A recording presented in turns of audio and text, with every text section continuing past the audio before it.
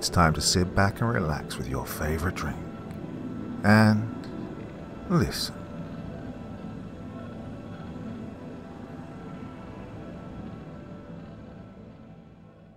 We built a portal gun. The whole thing was Ray's idea. Yes, I had a hand in it, but I swear I had no idea what his plans were. Hell, I'm not even sure he knew, to be honest. Was probably a year ago, give or take a month or two. I had a hard time making out his words at first, because he was just so excited, to the point of barely being able to form a legible sentence. The main thing I got from the phone call was to get to his house as soon as possible. He's usually a pretty composed guy, but something had him riled up, something serious. We've been friends since we were kids, ever since I helped him with a burgeoning bully problem in sixth grade. Ray was really shy, quite small for his age, so the bigger kids would lay into him pretty good. I didn't know anything about him at the time, but he always sat alone at lunch. When Ronnie Blige and his goons started harassing him one day, well, I couldn't let that shit slide. I wasn't especially strong or outgoing myself, but I never could stomach the bigger kids hassling the smaller ones. As soon as they swatted his lunch off the table and pushed him to the ground from his chair, I ran over before taking the time to consider my actions. Now, I'm not going to lie. I got my ass handed to me, but I stood my ground until Mr. Norris stepped in. He was a social studies teacher and was about as intimidating as a half flattened grasshopper but he was still an authority figure. I ended up being suspended along with Ronnie and his friends, but it was enough to make them think twice about pushing Ray around anymore. After all, I did get a couple of good swings on him, too. When I got back to school the following week, Ray couldn't thank me enough for stepping in when I did. We became pretty tight from then on. Jess was Ray's sister, and I developed a crush on her soon after my friend introduced us. But out of respect for my friend, I never acted on my feelings. But the friend zone knocked me out of the running anyway. The three of us spent a long time together over the high school years, and we managed to hold on to that friendship after they left for college. I never went to university myself. I was never the best student, due in part to my fairly erratic life at home. Now, I won't go into specifics, but my parents' relationship was always rocky at best. Of course, I wasn't exactly the sharpest tool in the shed either. When we learned the national anthem back in kindergarten, I wondered what a dansely light was. Of course, I didn't ask anyone, nope. I just assumed it meant really bright, and started using that shit in sentences. Wow, the sun sure is dancely today. Can I close the curtains? It's way too dancely outside. Don't call me stupid, I'm dancelier than you. Yep, I was about as dancely as a cave in the middle of a moonless night. No, I, I wasn't particularly smart. I was always pretty mechanically inclined, so I ended up working in a garage after school. Working on vehicles paid well enough for me to get my own place, far away from my folks, and carve out a decent life for myself. Ray dropped out of college after a couple of years, while Jess worked on her law degree for many years after. She always did like to argue. And he was always quite the intellectual, but would he claim that school was just attempting to dumb him down? Were it anyone else who claimed that, I would have thought them way too arrogant for their own good, but not Ray. As soon as I pulled into the driveway, the garage door opened with my friend standing behind it. His house was nothing especially big or fancy, but it sat alone on a wide open area, with a long road that led directly to the huge carport that sat next to the house. Ah, oh, this is going to be the big one, brother, he said as he ran up to my car before I even had the chance to get out. What's going to be the big what? I asked, chuckling at his childlike enthusiasm. Two words, he began to say, before being cut off by his sister pulling into the wide driveway. Jess was with her husband, Elijah, who was riding shotgun. He was a pretty good guy, but I can't say I didn't hold just the slightest bit of jealous contempt for him. Well, I'm fairly sure he knew how I felt about his wife, but he was cool enough to let it slide. Ray walked towards his sister and pulled her into a hug as soon as she got out of her car. He smiled at Eli and gave him an acknowledging nod, to which his brother in law returned the gesture. He waved us all to follow him into the garage, where he already had some fairly professional looking blueprints spread across his work table. You're not serious, Jess exclaimed after glancing down at the prints. I worked it all out last night, Ray replied with glee in his eyes. Okay, you've officially watched entirely too much Rick and Morty, I said, laughing out loud after I looked at the mapped out sketch of what was labeled Portal Gun. Eli laughed with me while Jess appeared to be trying her best to keep her composure. Look, I know it sounds crazy, but I swear to Christ it'll work, Ray said, looking between us. His voice sounded a bit pitiful, as we clearly heard his feelings. Just trust me, guys, he pleaded. I'll make sure we're all partners in this. Just have faith in me. Ray, you're my closest friend, I said. You know I've always got your back, but this is science fiction, not actual science. Now, to call my friend a genius would be dramatically underselling his intellect. Though I had endless faith in his brilliant mind, I just couldn't wrap my far more simple mind around it. After dropping out of college, Ray had started working on a variety of entrepreneurial ventures. I can't necessarily speak to what said work involved, since it is as above my pay grade as my understanding. By the time he was 25, he had, well, several patents and was worth more than $20 million. And that's with only two years of college. So for him to call this ridiculous idea the big one, well, I couldn't help but wonder what he considered big. This is exactly what motivated my next question. Are you sure you want to risk your reputation on something like this? I asked. He seemed to consider what I'd said for a moment. He was generally very quick-witted, rarely lost for words, well, with us anyway. Even with all his success, he was almost painfully shy and introverted. I was usually the only one he could confide in, which made this whole ordeal even more shocking. He was always close with his sister, and he even took to Eli pretty quickly. He tried to share his wealth with all of us, but Jess was already a very successful lawyer, and I was just too hard-headed to accept any form of charity. I did allow him to invest in my own garage, though. I couldn't rationalize just taking his money as a handout, but he was happy to be a partner in my maintenance shop. Ah, this isn't about the money, Ray said, breaking the silence that had begun to consume his garage. He looked at each of us with his eyes wide. There was a strange sort of desperation on his face that I'd never seen before. Nothing I've ever done has left a mark on this world, he continued. But this, he said, patting his hand on the blueprint, this is my legacy. This could change the world as we know it. My mind was made up before I looked at Jess and Eli for confirmation. I still thought this was completely nuts, but I always had my friend's back. I wouldn't change that now, even if I thought his genius was giving way to a touch of madness. Okay, I said, giving him a half smile. What do you need me to do? Ray lit up like a kid on Christmas morning, while Eli and Jess nodded their acceptance of whatever this plan held for them. Though mine would be the hands that would assemble this thing, according to my friend's instructions, I was unsure what role Jess or Eli would play. For the most part, they had little to no involvement. I assume Ray just invited them to be a part of it since they were part of our small circle of friends and family. Well, the design was far simpler than I ever could have thought, but my friend had absolutely no doubt it would work. Some parts took some time to get our hands on, and others cost Ray an insane amount of money. He claimed he didn't care about the financial aspect, but I wasn't entirely sure I bought that. Still, I couldn't believe how much he was willing to pay out for this ridiculous venture. I'd never seen him so blindly driven before. Honestly, he scared the hell out of me sometimes. My friend had always been a calm and composed individual, but he completely lost his shit at times during this process. I'd never seen this side of him before. I even began to fear for his sanity. There were several times during those first few months where he would throw parts across the room or pound on the work table until his knuckles bled.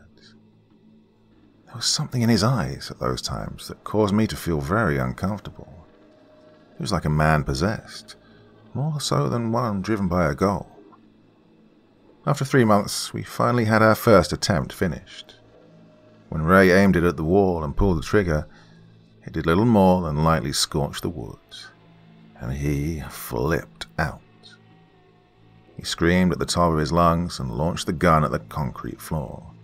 He stomped his foot on it, yelling, swearing so much that his words didn't even sound like any form of recognizable language anymore. He proceeded to beat and kick anything in sight. He punched the wall until the wood splintered from his blows. As soon as this legendary tantrum started, I got the hell out of there. I just walked around to the back of his house and lit up a cigarette while he tore his garage apart. After a while, his guttural bellows didn't cause me to wince anymore, but it was probably a solid hour before he calmed down. What the hell was that, man? I asked when Ray finally walked out of the demolished garage. I'm sorry, he replied, staring at the ground to avoid any eye contact. I've just put so much time and money into this, he continued. I can't fail. Maybe you should just walk away from this for a bit, I suggested. No, he screamed out as soon as the words had left my mouth. Oh, now, I said, backing away from my friend. I'm sorry, Ray said. I just, I mean, well, they, they will. I, I can't stop now. They won't, I asked. Who are they? Ray continued to stutter, but he wouldn't give me a straight answer. Told me he wasn't feeling very rational at the moment, and not to listen to any of his crazy words. I finally got him settled down, and he agreed to take a few days off to clear his head. I was trying to get him to just drop this whole thing, but he wouldn't hear of it. We didn't talk for a couple of weeks after that day. It was probably the longest I'd ever gone without talking to him, but he'd freaked me out quite a bit. I'd gotten back into my regular schedule and resigned myself to just wash my hands of this whole ordeal. I felt bad for ditching out on my friend, but I wasn't going to take part in his descent into madness anymore. Well, just two weeks after his meltdown, Ray contacted me again. He apologized for the way he'd acted and practically begged me to come back and help him. I worked it out, he said in a trembling voice. I couldn't tell if he was just nervous about making his apology or if he was getting himself worked up again. After we talked for a while longer, I agreed to give him one last chance. I can't say I was excited about the prospect of taking part in this endeavor further, but he was my friend. After another two months, Ray's portal gun was ready to be tested again. My whole body was shaking as he aimed the gun at the wall of his garage one more time. My heart was racing. The device was simple in its design. It was almost shaped like a hairdryer. It had cables that ran to the heavy backpack. It made me think of a bad cosplay attempt at Ghostbusters proton packs. There were blinking lights and a couple of switches on the pack, while the gun itself had two knobs and a trigger. One knob was to adjust the diameter of the portal, while the other was to switch between entry and exit points. The toggles on the back were just to power up and activate the thing, and I'm pretty sure the LEDs were just for show. My friend asked me to flip the switches while he aimed the gun at the wall. Well, here goes nothing, he said with his eyes wide and manic. As soon as he pulled back on the trigger, a small glowing circle of orange light appeared on the wall. He turned the first knob and the light widened before my eyes. After he let off the trigger, the circle of light changed to a perfectly round hole in the wall. He then turned the second knob and aimed at the opposing wall, leaving another equally round hole. Well, there was nothing special about how the openings looked. There wasn't exactly an enter here indicator, but Ray expected that. He told me to just be sure I kept track of which portal came first. My friend grabbed a basketball from a box to the side of the workbench. He gave me a strange look with a crooked half smile before he tossed the ball through the first hole. Sure enough, as soon as the ball went through the left wall, it came bouncing out of the right. Holy shit. I said in a monotone voice, as shock would allow me no more than that. after closely examining the basketball. Ray gave me a wink and ran towards the first hole. No, wait, I yelled out, but he was running back through the right wall before I could even suggest that we run more tests first. He yelled out in a frantic and excited shriek after he arrived back on the other side of the room. We both laughed quite a lot when he thrust his arm through the left side and it popped right out of the opposing wall. You really did it, I said with a surprised smile. We did it, Ray replied with glassy eyes. He asked me to call his sister and to get her to come by. While we awaited her arrival, we conducted a few more tests. I tossed the basketball at the exit portal to see what would happen. Somehow it couldn't even go through. It just bounced right back at us. We lobbed a variety of things through the origin hole, though we didn't need to prove that worked anymore. Honestly, we just had fun watching them go through one and pop out of the other. After a while, Ray flipped off the backpack switches, and both walls returned to their previous state. Still, in complete disbelief, I smacked my hands against both walls to find them completely sealed and solid. Well, it'd still be a few hours before Jess arrived, so my friend and I just kicked back and celebrated our success with a couple of cigars that he'd bought for this very occasion. He wanted to hold off on the champagne until his sister arrived, but we still cracked open a couple of beers and clinked them together before chugging down the deliciously cold brew. It was getting dark out when Jess and Eli finally pulled into the driveway. They didn't seem overly amused about coming out here, but they changed their tune after we gave them a demonstration of our accomplishment. They both just stared on with wide eyes and slack jaws as Ray strode through one wall and out the other. They were at a complete loss for words until we popped open the champagne and passed around glasses. I can't believe you actually pulled it off, Eli said, barely aware of the drink in his hand. I always knew you'd change the world, little brother, Jess said with a wide smile. Ray was wearing a proud look on his face as he admired his own work. Well, it's like they said, you ain't seen nothing yet, he remarked, halfway to himself. That's the second time you've mentioned they. Who the hell are they, actually? I asked. Huh?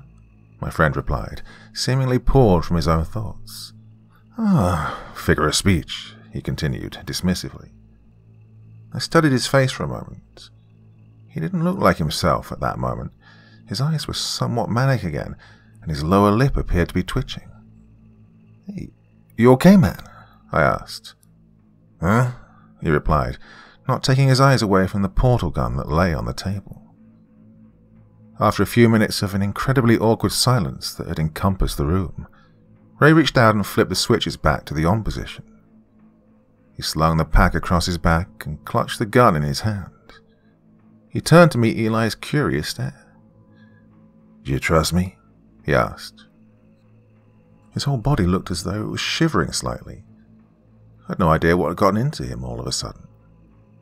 I'd assisted him on a number of projects over the years, from juicing up the turbo on his Mustang to helping him convert a simple and cheap drone into something with an incredibly long range. He'd had so many projects over the years, I couldn't even guess how many different ideas he'd had, but I'd never seen him like this. Eli looked at his wife and then over at me. He seemed uncertain and appeared to be looking for confirmation that he should indeed trust his brother in law. Well, Jess just shrugged, but I shook my head. I wouldn't even trust my friend with how he was acting right now.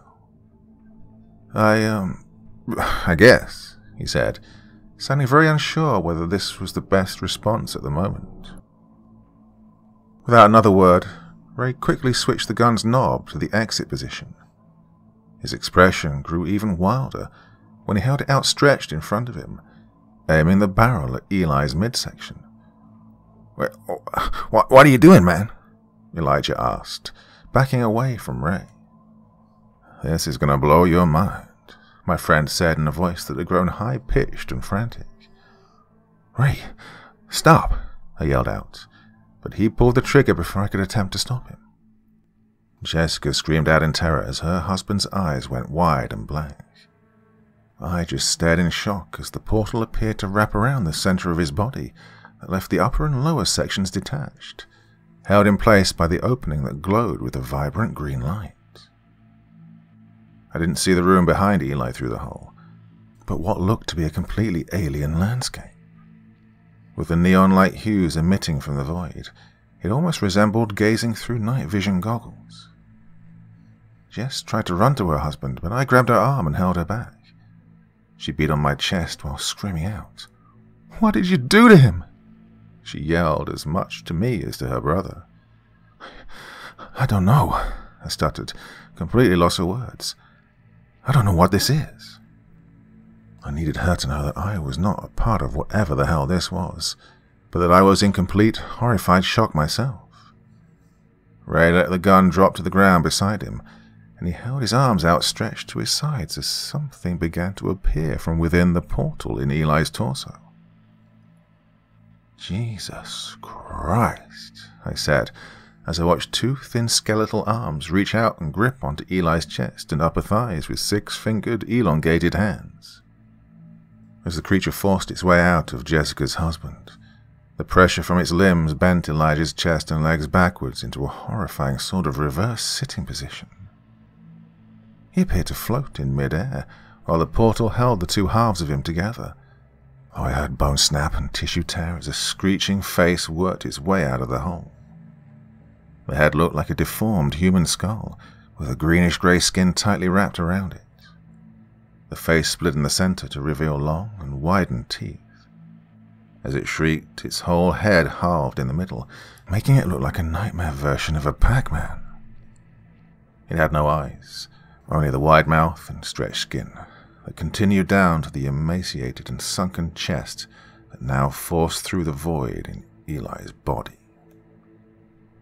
My senses finally seemed to recover, while the thing was still attempting to escape into this world. I picked Jessica up and ran towards my truck. No, Ray screamed out, while I was attempting to force the frantic Jess into the passenger seat. There has to be two, he yelled as he came running towards us. Behind him, I saw the beast fall to the ground after escaping through Eli's body. Though it lay on the concrete, seemingly exhausted from its transition, it looked to be quite tall. The eerily thin frame was mostly humanoid, but each limb looked twice the length of my own. Its whole body looked like an elongated skeleton, with that grayed green skin wrapped around the bones. Ray got to the side of my truck and was pulling on the door handle. I had locked it as soon as I got in, but he just kept yanking on it until it broke off in his hand. He screamed out again, and he barely sounded human anymore. He pounded on the window, instantly causing cracks to spiderweb across it. I kicked it into reverse and shot back out of the driveway, leaving my friend to fall to his knees. I took one final glance back to see the portal disappear and the two halves of Eli fall to the ground. Clearly, flesh does not recover as well as brick and mortar with such things. Ray attempted to run after me as I sped away from his house. But even if he hadn't still been wearing the heavy backpack, I had the pedal pushed to the floor. Once I was sure I'd put enough distance between us, I called 911. Well, I had no idea what to tell them, so I just reported a possible homicide at Ray's address. I didn't stop rolling until my truck was running on fumes. Jessica had been catatonic since she watched her husband quite literally fall to pieces before her eyes. But at least she was alive. I considered driving home, but I was certain Ray would go there first, if he was searching for his sister and I. I pulled off the interstate to find gas stations and hotels right off the exit. My passenger was still out of it, so I checked us into one of the roadside motels after filling up my gas tank. I went ahead and just got one room with two beds, so I could keep an eye on her through the night. I didn't want her to creep out or make her feel like I was holding her hostage, my head was still spinning from the evening's events. I still couldn't believe my friend had gone so far off the deep end. Had this been his plan all along? Had he just been using me to bring whatever the hell that was into this world? Jess just lay in the bed across from me, still shaking all over. I'd have to try and get her help soon. Hell, I'd have to get myself help for that matter. Her body was faced away from me, so I walked over to where she lay to check on her. Well, she was out, thankfully. I could only hope that rest would help her troubled mind. It was just then, when I was about to attempt to lay down myself, that my phone rang. I was apprehensive at first, unsure if it may be Ray attempting to contact me, but no. Given the bizarre circumstances the police found when they arrived at my friend's house, I'd have to make a statement as to the events that took place. The detective told me that they found some video footage at the scene, and I'd be required to make a statement. He sounded confident that I wouldn't be facing any charges, but they needed to hear my account of what had happened.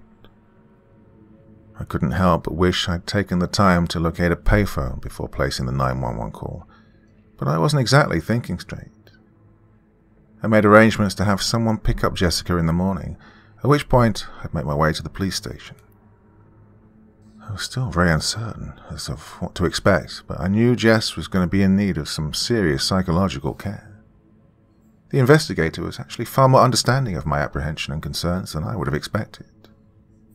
An ambulance arrived at the motel just a couple of hours later.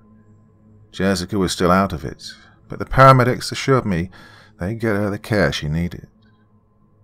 After they took off, I headed back towards the city I fled from only a handful of hours before. Having driven for longer than I realized the previous night, it took me a while to arrive back at the station back in Ray's neck of the woods. My thoughts were all over the place, but I just wanted this nightmare to be over. Detective Leary was waiting for me in his office when I arrived. He was an older guy, but I think he appeared more aged than he really was. He had thin, brown hair that had receded back a good bit. He wore a thick moustache and rimless glasses. He spoke in a friendly tone, but his expression appeared quite stern. There were two other individuals in the room when I walked in, but they showed no motivation to introduce themselves. They both wore dark suits and had a similarly cold expression on their faces. They were both maybe in their mid thirties. The shorter of the two had a shaved head, while the other sported a blonde buzz cut. Neither of them said a word while they just stood at the back of the room. The detective told me the two men were in charge of the investigation, though he'd be the one asking the questions. I knew nothing about any of the room's inhabitants, but Leary came off a little intimidated by the duo in the nice suits. Eh, it's very possible he was just one of those particularly skittish people. But given the pictures on the walls of seemingly very important individuals shaking the detective's hand, I had to assume it was just these particular men that made him nervous. At the officer's request, I recounted the events of the previous day, along with the details of the project we'd worked on these past three months. It was a grueling conversation, and retelling these facts caused me to physically wince multiple times. I don't think I'd allowed myself to really take in everything that had happened until this very moment. By the time I was finished with my story, I found myself just staring at the desk I sat in front of, barely holding on to my own sanity. Nobody said anything after I told my side of things, until Leary asked me to step outside for a moment. I shook my head to snap out of my vacant stare and just nodded to the man before walking out the door. A good 30 or 40 minutes passed before I was invited back in. As soon as I strolled through the open door, the two silent men walked quickly past me without so much as glancing in my direction. Well, they seemed friendly, I remarked to the detective before the two were out of earshot. You have no idea, he replied. Leary went on to explain that the men in the finely tailored suits were against the idea of me seeing what he wanted to show me. He told me he thought I had the right to view the video footage they'd found. This may be tough to watch, and I'm sure you're going to need a truckload of therapy after this. So, it's completely your call, he said, holding the remote control to the monitor that sat on the other side of the desk. I considered his words for some time before I reluctantly agreed to watch the tape. I wasn't quite ready to face the reality of everything that had occurred, but I had to know what happened next. As the video began to play, I wondered when exactly Ray had begun recording. I asked the detective to fast forward through the events I'd witnessed firsthand and basically cut to the chase. I stared on with wide eyes as the video sped through the horrific act that had been forced on Elijah. Poor guy didn't even have a chance. I have no doubt that even if he had denied Ray's question of trust, he would still have met the same fate. Leary started playing the tape again, and I watched my truck speed away from the house, my friend screaming out after me. The skeletal creature still lay on the concrete of the garage, while Ray erratically paced back and forth. It has to be two, he was muttering over and over to himself as he walked from side to side across his lawn. There's no time, no time for more, no time at all, he continued, sounding more maniacal with every word. Just wanted to share, share with them, but no, no they wouldn't. No time. Has to be two. No time now. He went on and on, just repeating the same thoughts, each time more harried than the last. No time, he said somberly, as he came to a halt in front of the graying green thing on the floor. Has to be done. No time left. He remarked one last time before he picked the gun back off the ground. It had been dragging behind him as he darted back and forth, still wearing the heavy backpack. He stared back into the camera that had apparently been mounted close to the rear of his garage. He didn't say another word. He just raised the gun up slowly and planted the barrel into his own mouth. Since he directed the portal into his own throat, I couldn't see the opening form.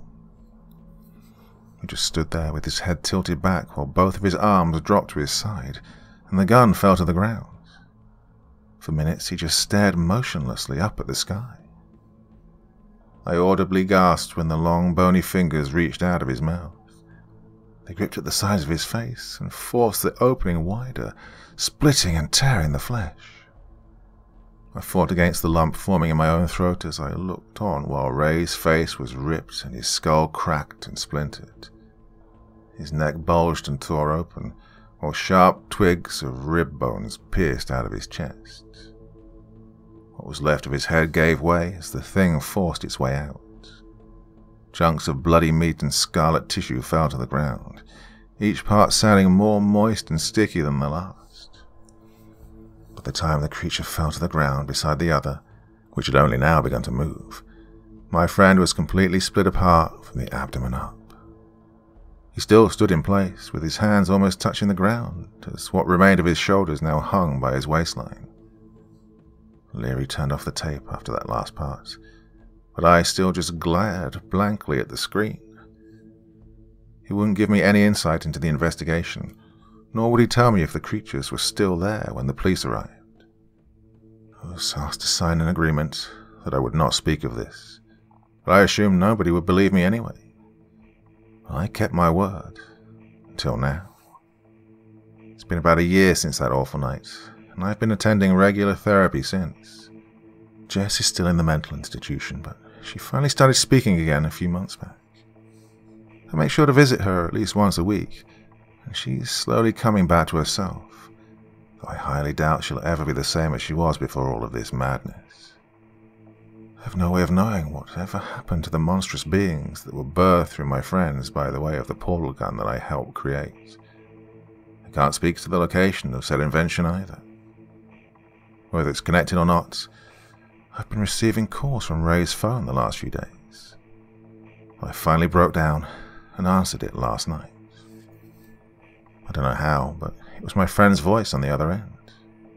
He sounded different, which is not surprising as his head was fragmented into bony and bloody chunks. But somehow, I believe it was him. I've no idea how that could even be possible. Two more, it said. Has to be two more. I immediately hung up the phone and threw it to the ground. I stomped the damn thing with the heel of my foot until it was just a scattering of plastic and glass. I can't be sure of what those words meant, but I'm not sticking around to find out. I'm packing up my shit and getting the hell out of Dodge. Hopefully, I can convince Jess to come with me. If I can even get her out of the institution she's in. Either way, I won't wait around to see what happens next. I can't know what my friend's true motivation was behind all of this. Just, please, understand. I never would have let it get this far if I could have known what he intended. He said, we'd change the world. Together.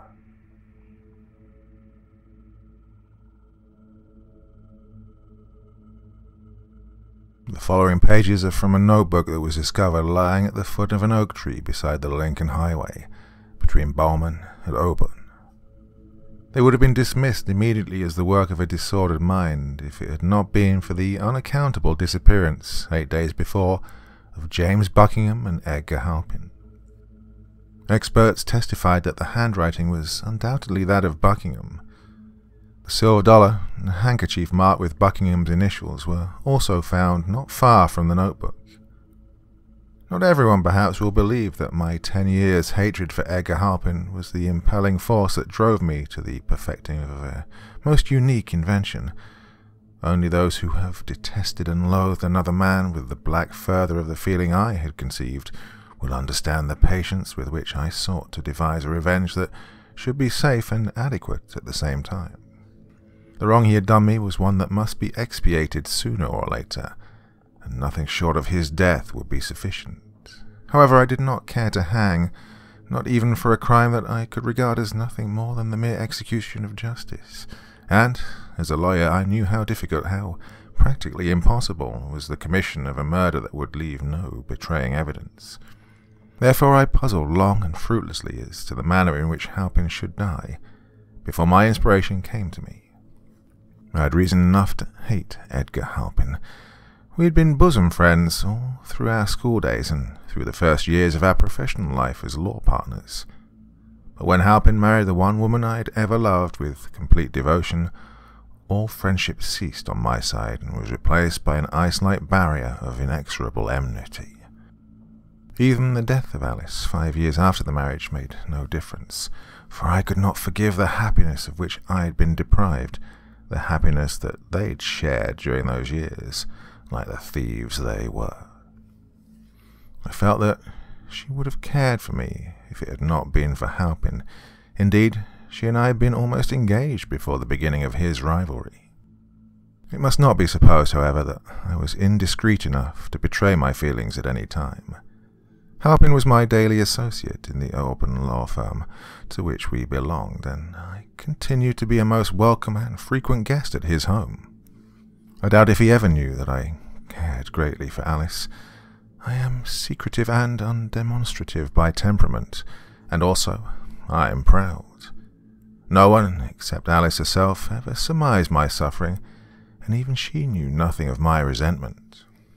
Halpin himself trusted me, and nurturing as I did the idea of retaliation at some future time, I took care that he should continue to trust me. I made myself necessary to him in all ways. I helped him when my heart was a cauldron of seething poisons. I spoke words of brotherly affection and clapped him on the back when I would rather have driven a dagger through him. I knew all the tortures and all the nausea of a hypocrite, and day after day, year after year, I made varying plans for an ultimate revenge. Apart from my legal studies and duties during those ten years, I apprised myself of everything available that dealt with the methods of murder.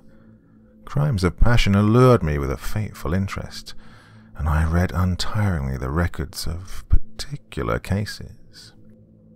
I made a study of weapons and poisons, and as I studied them, I pictured to myself the death of Halpin in every conceivable way. I imagined the deed as being done at all hours of the day and night in a multitude of places. The only flaw in these dreams was my inability to think of any spot that would assure perfect safety from subsequent detection. It was my bent towards scientific speculation and experiment that finally gave me the clue I sought. I had long been familiar with the theory that other worlds or dimensions may coexist in the same space with ours, by reason of a different molecular structure and vibrational rate, rendering them intangible to us. One day, when I was indulging in a murderous fantasy, in which for the thousandth time I imagined myself throttling Halpin with my bare hands, it occurred to me that some unseen dimension, if one could only penetrate it, would be the ideal place for the commission of a homicide.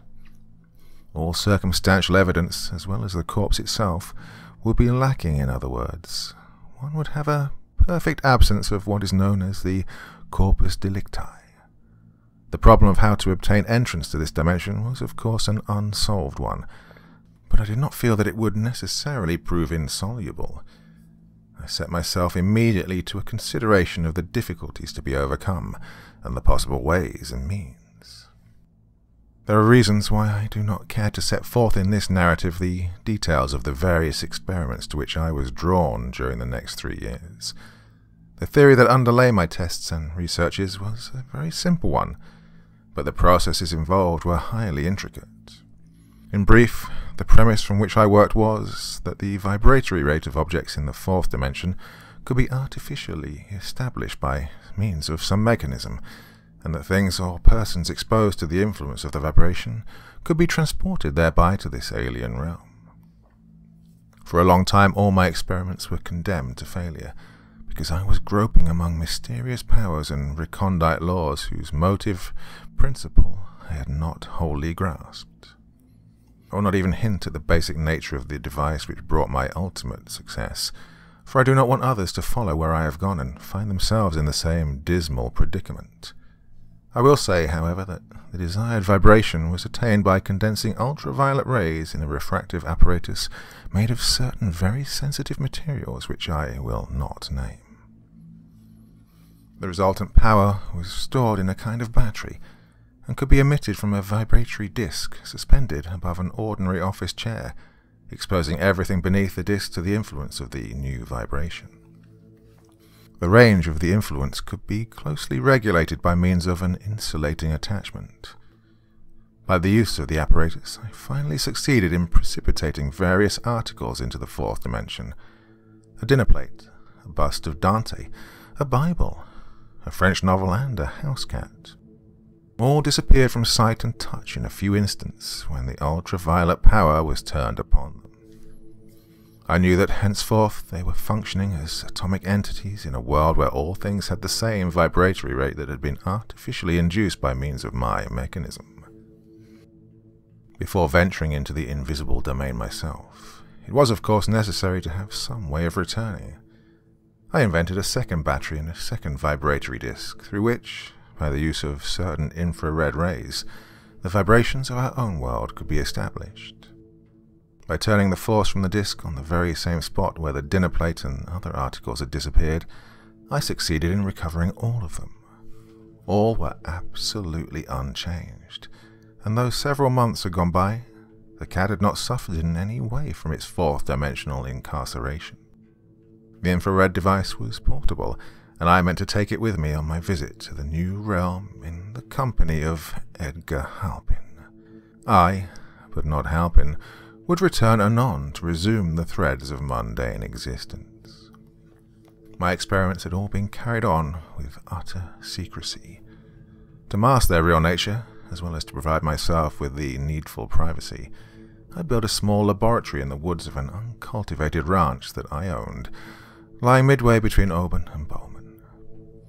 Here I retired at varying intervals when I had the requisite leisure, ostensibly to conduct some chemical experiments of an educative but far from unusual type. I never admitted anyone to the laboratory, and no great amount of curiosity was evinced by friends and acquaintances regarding its contents or the tests I was carrying on. Never did I breathe a syllable to anyone that could indicate the true goal of my researches. I shall never forget the jubilation I felt when the infrared device had proven its practicality by retrieving the plate, the bust, the two volumes, and the cat. I was so eager for the consummation of my long-delayed revenge that I did not even consider a preliminary personal trip into the fourth dimension. I had determined that Edgar Halpin must precede me when I went. I did not feel, however, that it would be wise to tell him anything concerning the real nature of my device, or the uh, proposed excursion. Halpin at this time was suffering from recurrent attacks of terrific neuralgia. One day, when he complained more than usual, I told him, under the seal of confidence, that I'd been working on a vibratory invention for the relief of such maladies and had finally perfected it. I'll take you out to the laboratory tonight. You can try it, I said. It'll fix you up in a jiffy. All you'll have to do will be to sit on a chair and let me turn on the current. But don't say anything to anybody. Thanks, old man, he rejoined. I'll certainly be grateful if you can do anything to stop this damnable pain. It feels like electric drills boring through my head all the time. I had chosen my time well, for all things were favorable to the maintenance of the secrecy I desired. Halpin lived on the outskirts of the town, and he was alone for the nonce, his housekeeper having gone away on a brief visit to some sick relative. The night was murky and foggy, and I drove to Halpin's house and stopped for him shortly after the dinner hour, when few people were abroad. I do not think anyone saw us when we left the town. I followed a rough and little used by road for most of the way to my laboratory, saying that I did not care to meet other cars in the thick fog, if I could avoid it. We passed no one, and I felt this was a good omen, and that everything had combined to further my plan. Halpin uttered an exclamation of surprise when I turned on the lights in my laboratory. Oh, I didn't dream he had so much stuff here, he remarked, peering about with respectful curiosity as the long array of unsuccessful appliances which I had thrown aside in the course of my labours. I pointed to the chair above which the ultraviolet vibrator was suspended. Take a seat, Ed, I enjoined him. We'll soon cure everything that ails you. Sure you ain't gonna electrocute me? he joked as he obeyed my direction. A thrill of fierce triumph ran through me like the stimulation of some rare elixir when he had seated himself. Everything was in my power now, and the moment of recompense for my ten years' humiliation and suffering was at hand. Halpin was so unsuspecting. The thought of any danger to himself, of any treachery on my part, would have been fantastically incredible to him. Putting my hand beneath my coat, I caressed the hilt of the hunting knife that I carried. All set? I asked him. Sure, Mike. Go ahead and shoot. I'd found the exact range that would involve all of Halpin's body without affecting the chair itself. Fixing my gaze upon him, I pressed the little knob that turned on the current of vibratory rays. The result was practically instantaneous, for he seemed to melt like a puff of thinning smoke. I could still see his outlines for a moment, and the look of a phantasmal astonishment on his face. And then he was gone. Utterly gone. Perhaps it will be a source of wonderment that, having annihilated Halpin as far as all earthly existence was concerned, I was not content merely to leave him in the unseen, intangible plane to which he had been transposed. Would that I had been content to do so. But the wrong I'd suffered was hot and cankerous within me, I could not bear to think that he still lived in any form or upon any plane. Nothing but absolute death would suffice to assuage my resentment, and the death must be inflicted by my own hand. It now remained to follow Halpin into that realm which no man had ever visited before, and of whose geographical conditions and characteristics I had formed no idea whatsoever. I felt sure, however, that I could enter it and return safely, after disposing of my victim. The return of the cat left no apparent room for doubt on that score. I turned out the lights, and seating myself in the chair with the portable infrared vibrator in my arms, I switched on the ultraviolet power. The sensation I felt was that of one who falls with nightmare velocity into a great gulf. My ears were deaf with the intolerable thunder of my descent. A frightful sickness overcame me, and I was near to losing all consciousness for a moment, in the black vortex of roaring space and force that seemed to draw me nadir would through the ultimate pits. Then the speed of my fall was gradually retarded, and I came gently down to something that was solid beneath my feet. There was a dim glimmering of light that grew stronger as my eyes accustomed themselves to it, and by this light I saw Halpin standing a few feet away. Behind him were dark, amorphous rocks and the vague outlines of a desolate landscape of low mounds and primordial, treeless flats. Even though I'd hardly known what to expect, I was somewhat surprised by the character of the environment in which I found myself. At a guess, I would have said that the fourth dimension would be something more colorous and complex and varied a land of multifield hues and many angled forms. However, in its drear and primitive desolation, the place was truly ideal for the commission of the act I had intended. Halpin came toward me in the doubtful light. There was a dazed and almost idiotic look on his face, and he stuttered a little as he tried to speak. Oh, what happened? he articulated at last. Never mind what happened. It isn't a circumstance to what's going to happen now. I laid the portable vibrator aside on the ground as I spoke. The dazed look was still on Halpin's face when I drew the hunting knife and stabbed him through the body with one clean thrust. In that thrust, all the stifled hatred, all the cankering resentment of ten insufferable years was finally vindicated. He fell in a twisted heap, twitched a little, and lay still. The blood oozed very slowly from his side and formed a puddle. I remember wondering at its slowness even then, for the oozing seemed to go on through hours and days. Somehow, as I stood there, I was obsessed by a feeling of utter unreality. No doubt the long strain I'd been under, the daily stress of indurate emotions and decade-deferred hopes, had left me unable to realize the final consummation of my desire when it came. The whole thing seemed no more than one of the homicidal daydreams in which I'd imagined myself stabbing Halpin to the heart and seeing his hateful body lie before me. At length, I decided that it was time to effect my return, for surely nothing could be gained by lingering any longer inside Halpin's corpse amid the unutterable dreariness of the fourth dimensional landscape. I erected the vibrator in a position where its rays could be turned upon myself and pressed the switch. I was aware of a sudden vertigo, and felt that I was about to begin another descent into fathomless vortical gulfs. But, though the vertigo persisted, nothing happened, and I found that I was still standing beside the corpse, in the same dismal milieu. Dumbfoundment and growing consternation crept over me. Apparently, for some unknown reason, the vibrator would not work in the way I'd so confidently expected. Perhaps in these new surroundings there was some barrier to the full development of the infrared power. I do not know, but at any rate, there I was, in a truly singular and far from agreeable predicament. I do not know how long I fooled in a mounting frenzy with the mechanism of the vibrator, in the hope that something had temporarily gone wrong and could be remedied, if the difficulty were only found. However, my tinkerings were of no avail. The machine was in perfect working order, but the required force was wanting. I tried the experiment of exposing small articles to the influence of the rays. A silver coin in a handkerchief dissolved and disappeared very slowly.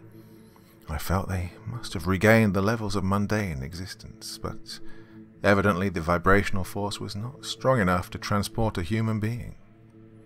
Finally, I gave it up and threw the vibrator to the ground. In the surge of a violent despair that came upon me, I felt the need of muscular action, of prolonged movement, and I started off at once to explore the weird realm in which I had involuntarily imprisoned myself. It was an unearthly land, a land such as might have existed before the creation of life. There were undulating blanks of desolation beneath the uniform grey of a heaven without moon or sun or stars or clouds, from which an uncertain and diffuse glimmering was cast upon the world beneath. There were no shadows, for the light seemed to emanate from all directions. The soil was a grey dust in places and a grey fixidity of slime in others, and the mounds I've already mentioned were like the backs of prehistoric monsters heaving from the primal ooze. There were no signs of insect or animal life. There were no trees, no herbs, not even a blade of grass, a patch of moss or lichen, or a trace of algae. Many rocks were strewn chaotically through the desolation, and their forms were such as an idiotic demon might have devised in aping the handiwork of God. The light was so dim that all things were lost at a little distance, and I could not tell whether the horizon was near or far. It seems to me that I must have wandered on for several hours, maintaining as direct a course of progression as I could. I had a compass, a thing that I always carry with me, but it refused to function, and I was driven to conclude that there were no magnetic poles in this new world. Suddenly, as I rounded a pile of the vast amorphous boulders, I came to a human body that lay huddled on the ground, and say, incredulously, that it was Halpin. The blood still oozed from the fabric of his coat, and the pool it had formed was no larger than when I'd begun my journey. I felt sure that I had not wandered in a circle, as people are said to do amid unfamiliar surroundings. How, then, could I have returned to the scene of my crime? Oh, the problem nearly drove me mad as I pondered it, and I set off with frantic vigour in an opposite direction from the one I'd first taken. For all intents and purposes, the scene which I now passed was identical with the one that lay on the other side of Halpin's course. It was hard to believe that the low mounds, the drear levels of dust and ooze, and the monstrous boulders were not the same as those among which I had made my former way. As I went, I took out my watch with the idea of timing my progress, but the hands had stopped at the very moment when I had taken my plunge into the unknown space from the laboratory and though I wound it carefully, it refused to run. After walking an enormous distance, during which, to my surprise, I felt no fatigue whatever, I came once more to the body I had sought to leave. I think that I went really mad then for a little while. Now, after a duration of time, or eternity which I have no means of computing, I am writing this penciled account on the leaves of my notebook. I'm writing it beside the corpse of Edgar Halpin, from which I have been unable to flee. For a score of excursions into the dim realms on all sides have ended by bringing me back to it after a certain interval. The corpse is still fresh, and the blood has not dried. Apparently, the thing we know as time is well nigh non existent in this world, or at any rate is seriously disordered in its action, and most of the normal concomitants of time are likewise absent, and space itself has the property of returning always to the same point. The voluntary movements I perform might be considered as a sort of time sequence, but, but in regard to involuntary things, there is little or no time movement. I experience neither physical weariness or hunger, but the horror of my situation is not to be conveyed in human language, and hell itself can hardly have devised a name for it. When I have finished writing this narration, I shall precipitate the notebook into the levels of mundane life by means of the infrared vibrator. Some obscure need of confessing my crime and telling my predicament to others has led me to an act which I should never have believed myself capable, for I am the most uncommunicative of men by nature. Apart from satisfying this need, the composition of my narrative is something to do. It's a temporary reprieve from the desperate madness that will surge upon me soon, and the grey, eternal horror of the limbo to which I have doomed myself beside the undecaying body of my victim.